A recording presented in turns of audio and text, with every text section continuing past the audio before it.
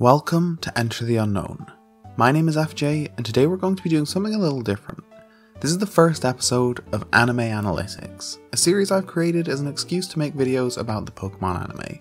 This almost certainly won't be that regular, but it's here if I ever want to revisit it. Today I'm delving into a subject that I've wondered about for a long time. I'm going to go back through the archives and look at Ash Ketchum's entire battle history to determine who truly is his best Pokemon. I'm sure there are hundreds and thousands of videos and articles discussing this exact topic, but this answer is entirely down to who has won the most and lost the least. My heart isn't going to come into it.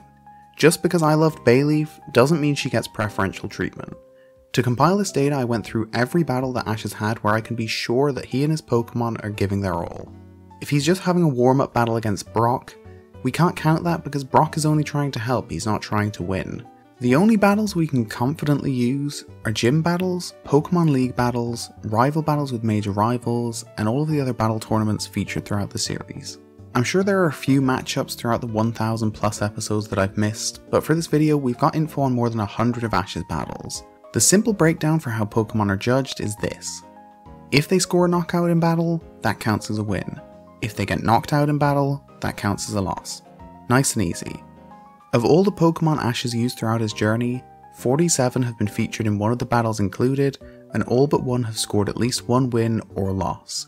Ash's Pidgeot, which was really a Pidgeotto for 99% of its screen time, featured in several Kanto gym battles, but because they were constantly interrupted by Team Rocket and abandoned, the flying type never managed to finish a battle.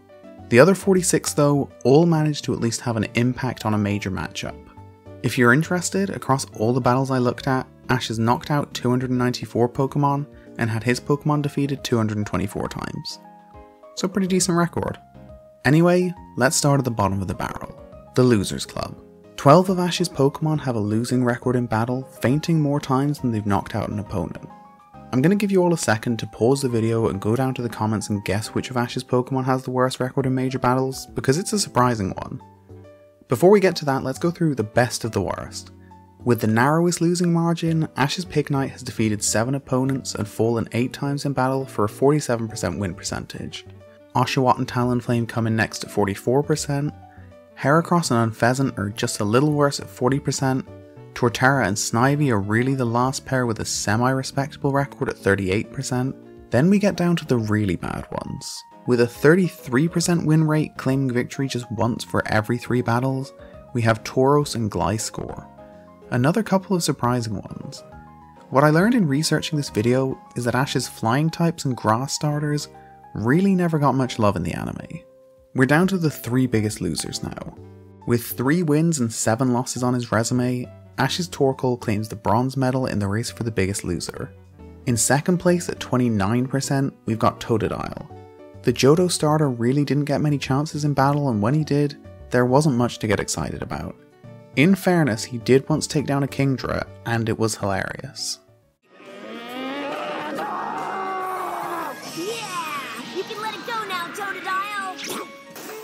So at least there's that. The biggest loser of all though, with just a 25% success rate, Ash Ketchum's worst Pokemon of all time? Noivern. The part flying, part dragon type came to Ash as an egg, and although he had a few impressive showings, his record doesn't quite reflect it. Sort of shows the flaw in this method. Anyway, let's continue. We're not looking for the worst of the worst, we want to find the best of the best. Obviously, we can't jump straight to the best though. Let's see the most middling of Ash's Pokemon next. The 11 members of his team that essentially cancel themselves out, earning the exact same number of wins and losses for a flat 50% win rate. There are a few forgettable Pokemon in this group, but also a few shocks. With 10 wins and 10 losses, Sceptile has the second most battle experience of Ash's Pokemon. Pikachu comes in first with 121 combined wins and losses under his belt, over 100 more than Sceptile. That's not surprising though. What is surprising is that Sceptile, the Pokemon who took down Tobias's Darkrai, has the same number of wins and losses. Goodra and Hawlucha are also surprises in the tier, but that's what the win-loss percentage does. It throws away bias and agenda and tells us who is truly the best. Let's move on to the winners now. The Pokemon who are actually worth our time of day. I'm only joking, all Pokemon deserve respect, even the losers. First up for the winners, here are the 8 Pokemon who won more than they lost, but only marginally. With 7 wins and 6 losses, Quilava is the narrowest winner across Ash's entire journey, sitting at a 54% win rate. Leavanny and Palpitoad both sit at 57% with a 4 and 3 record. Swellow comes in at 59% with 10 wins and 7 losses to its name. In fairness to Swellow, getting to 10 wins is no mean feat. Other than Pikachu, only 5 of Ash's Pokemon have reached that number. That achievement doesn't quite make Swellow Ash's best generic early flying type though. That honour goes to Noctowl, who's one of 4 Pokemon that finished up with a 60% win percentage.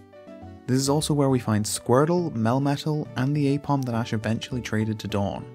Now, before we get into the true elite, the 5 Pokemon who have won more than two thirds of their total battles, let's take a look at the 10 Pokemon who sit just outside the top tier. Glalie is up first. With an impressive performance at the Evergrande Conference, Glalie racked up a 5 3 record in his time with Ash, which holds up pretty damn well. One better though is Pikachu.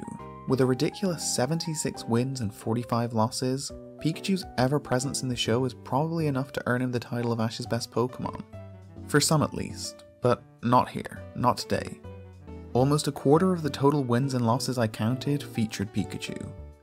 It must be said his record has improved as the series has gone on and he's become much harder to beat in recent years. It's also worth noting that his loss to Trip Snivy was not counted here because he'd just been struck by lightning and he couldn't use electro type moves, so it doesn't really count. Still, overall a very respectable record for the Electric Mouse. Up next, with a 63% win rate, we have another Pokemon who crossed the 10 win mark. In fact, with 12 wins, it comes in third behind Pikachu and one other Pokemon for the most wins out of Ash's entire team. It is, of course, Corphish. That's right, the water type has clocked up more wins than Charizard, Sceptile, or Greninja, Along with Pikachu, it's the only one of Ash's Pokemon that made it to 10 wins without reaching its final evolutionary stage. So let's all take a second to appreciate the Ruffian Pokemon. Good work, buddy. The last two Pokemon who don't quite make it to the threshold of a two thirds win rate are another two old Ash favourites. Bulbasaur sits at 64% with a 9 and 5 record, and Charizard comes in at 65% with 11 wins and 6 losses. If Charizard always tried his hardest, I'm sure his record would look a lot better, but if you're too lazy to battle during the Pokemon League and you get disqualified, that's really on you. As a result, the fan favourite Firestarter doesn't even crack the top 10 when it comes to Ash's biggest winners. It also means that the three Kanto starters who joined Ash Ketchum on his journey all finished with very similar records. Squirtle won and lost the least, Charizard won and lost the most, and Bulbasaur fell right in between on both counts. In the end, though, none of them reached the magic number of 66.66 recurring to class them among those who won twice as many battles as they lost. That group of five goes to Gible, Scraggy, Incineroar, Rowlet, and Greninja. And there goes another fan favourite for this title. I'm sorry guys, the numbers don't lie though. Greninja's incredibly impressive performances through his journey have earned him the number 6 ranking, but he falls just short of a lucrative top 5 spot. Of course! Froakie's Gummy Frubbles isn't a move. Credit also has to go to Rowlet for achieving the best record of any non fully evolved Pokemon.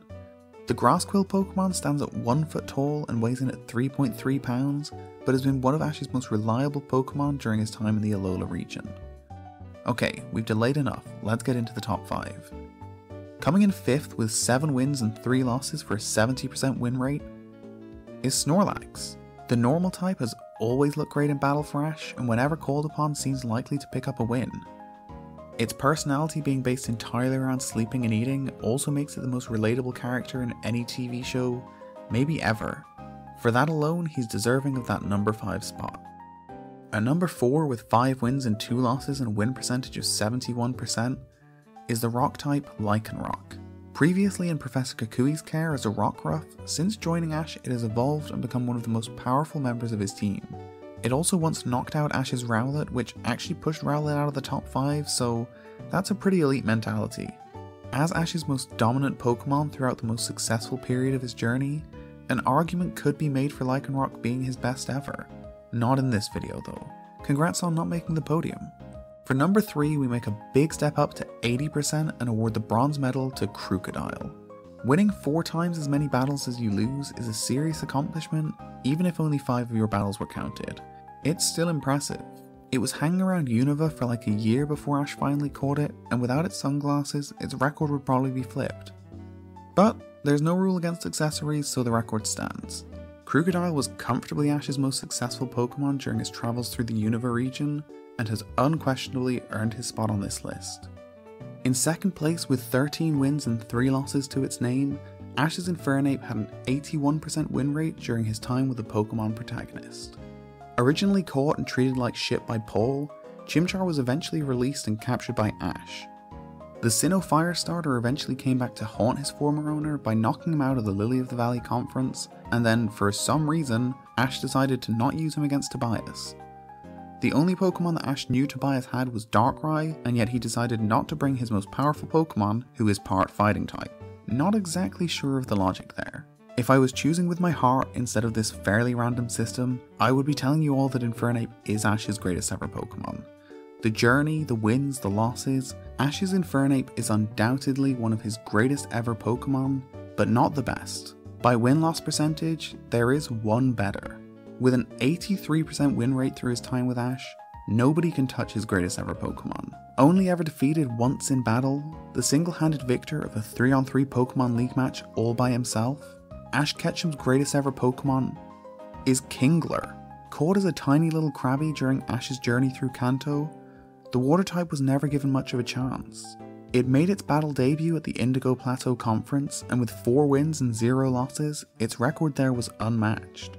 It evolved during its first ever battle, and its only defeat came at the hands of Misty Psyduck in the Whirl Cup, so I'm not even sure we can really count that as a loss. It's entirely possible that it just felt bad for Psyduck and let him win. With all of the data in front of me, I really can't look past Kingler as Ash Ketchum's greatest ever Pokemon.